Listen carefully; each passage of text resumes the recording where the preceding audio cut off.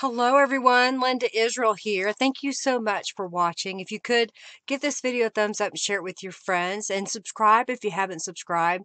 And if you have any questions throughout this video, do leave comments in the comment section and I'll do my best to answer them pretty quickly. And I hope that you'll check the description box for links to any of the products I use or my social media connectors. I hope that you watched the Fleur de Lis scrappy book journal card.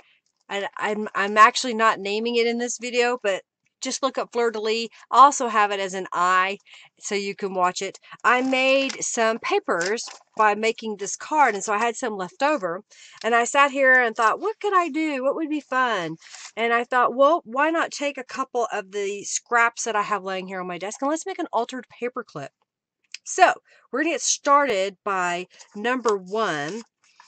I have a book page that I've overstamped on, and I think what I want to do is I want to trim it down to be a little bit smaller than this artist trading card. An artist trading card is three and a half by two and a half inches.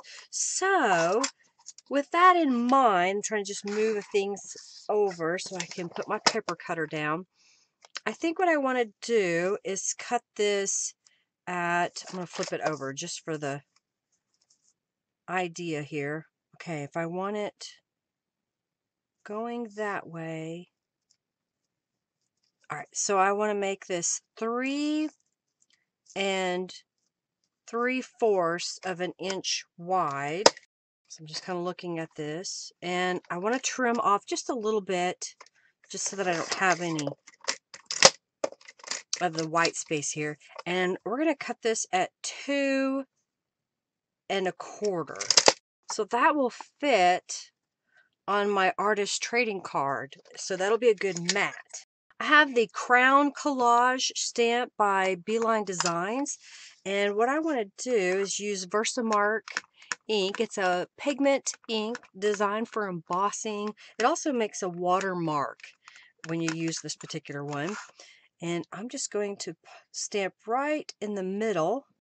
And then I'm going to put it in my gold embossing powder. And I know I want to emboss it, so I'm just going to let that uh, set for just a moment. Move my stamp out of the way. I have a piece of ivory paper that was left over from a project. And I have from the I Got to make sure I got the right one. It's from the Time Spent Cube, Queen for a Day. Got a little shine there. So I've got the word Queen for a Day. And we're to emboss this. So I'm looking here. I will just do it right here in this corner. And I want to emboss that. And if I get a little, I just kind of smush the edge of the stamp. So I'm just rubbing that off. All right, so I've got these two pieces that I need to heat and emboss. Oh, wait, I have one more I want to make. This is another book page. And I've got the Queen's Post. So we got the Queen for a day. We have a crown. And now I have the Queen's Post. Stamp that. And doing gold embossing. All right, so I've got those three pieces that I need to heat emboss. So let me put the stamps away and close the glitter and let's heat those up. So I'm just putting it on a metal pan so that I don't scorch my plastic mat underneath and I've got a heat tool.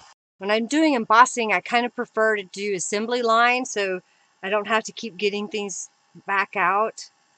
It just makes it go a little bit faster. Okay, so all my pieces have been heat embossed. You don't want to touch them right away because they'll be hot and you'll burn your fingers. All right, so I think what I want to do is I want to layer these together. So I've got my Distress Ink Walnut Stain. And we're just going to go right around the edges. I did just recently re-ink my pad. So it's nice and dark. All right, so I want to put this in the middle. So I'll glue that down with some Aleene's Tacky Glue. Because I like that. And I think for the little Queen's Post, I'll just use my scissors. And I'm trimming it out just a little bit. I've got a couple of scraps here. I'm just looking to see which is the best one. I think I want this one because I'm going to use some scissors to trim this out. Let me get my scissors. I've misplaced the ones I really want, but this is a pair of kind of a zigzag stitch or zig, like pinking shears. Don't use pinking shears on your paper projects unless you never want to cut fabric again. I'm going to glue these together and then I'll use this little decorative edge scissors to cut out the little postage stamp. I'll just kind of come in here and trim them out. And let's put some distress inks on that edge. All right, so I've got those two pieces. So now what I need to do is take this piece and tear it out. So tear it out. I'll go ahead and just kind of trim it up a little bit. And I've got this piece. And I think I don't need it quite as big. So I'm just going to trim it with my scissors. Maybe a little crooked. I don't know. I think I think it needs something in the background. So let's put the distress inks on it. See how that looks.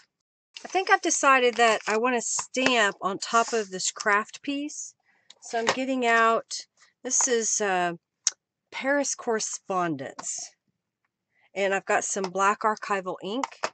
And we're going to do it crosswise. I think that's what it needed.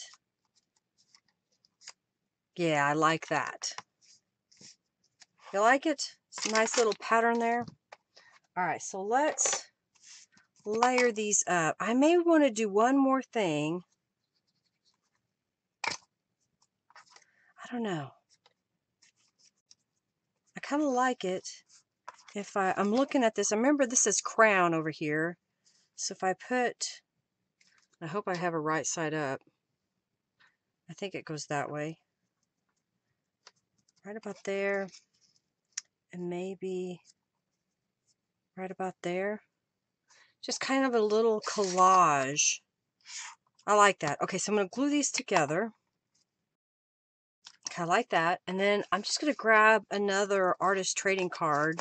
I'll go ahead and put some distress inks on it. This one feels a little bit thicker. All right, and that's going to be the outside. So I can choose, do I want the bigger part of the paper clip on the outside or do I want the smaller part? And I think I'll do the smaller part. And the bigger part will be inside, which will help give our altered paper clip some stability. So I'm just going to come in here and put some glue right around my paper clip and then around the perimeter and then just kind of fill it in. And then I'll put these together and what I like to do is just press it down onto my work surface. And then I'll just really rub. I can get my foam folder and rub on it. Kind of go down in between the paper clip. And there is my altered paper clip. So I can just get a page. Let's just pretend this is, fold it in half. And this is my page and I can just put it across I can use my little journal card that I made underneath. Oops. I guess I didn't get enough glue on that. What do you think? Is that kind of neat? I hope you like this little idea, just using those scraps and stamping on top of them to make a beautiful little altered paper clip. Well, y'all, thank you so much for watching. Know that I go live on Mondays at 3.45 p.m. Central Standard Time. And again, I have a live premiere videos or recorded videos on Thursdays at 12.30 p.m. Central Standard Time. I hope you'll check those out. And then, of course, make sure you, know you uh, subscribe and hit the notification bell. That way you know the next time I upload a new video. And if there's something you want to see, you have a technique that you'd like to see in stamping or stenciling, mixed media, doing gel printing, let me know and I'll see if I can do it for you. All right, everybody, have a fabulous day. Bye.